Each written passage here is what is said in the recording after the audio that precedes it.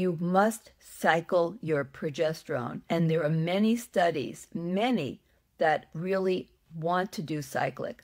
Remember, the progesterone that we use now is real human bioidentical progesterone, which has so many health benefits, unlike medroxyprogesterone acetate, which was found way back in the beginning of its use to have negative effects. So don't ever get those two mixed up. They're very, very different creatures. And real human bioidentical progesterone is wonderful for our bodies, whereas medroxyprogesterone is really a toxic chemical. We want to have hormones that are human identical.